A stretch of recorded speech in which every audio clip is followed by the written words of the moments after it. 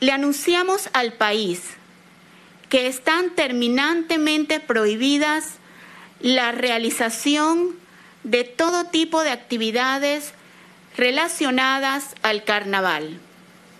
Además, informamos desde hoy que la tradicional peregrinación del Cristo de Atalaya en Veraguas está suspendida, ya que el fin de semana del 20 y 21 de febrero próximo seguirá vigente la medida de cuarentena total en esta provincia del interior del país.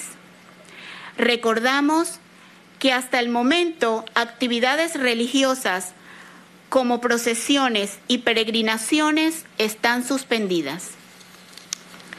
Comunicamos también a la población que a partir de hoy, martes 9 de febrero, quedan nuevamente permitidas actividades como los sorteos de la Lotería Nacional de Beneficencia y las carreras en el hipódromo Presidente Remón. Los sorteos serán televisados sin público y la venta de chances y billetes será de lunes a viernes mientras dure la cuarentena total los fines de semana. Las carreras de caballos se realizarán de lunes a viernes a puertas cerradas y de manera virtual.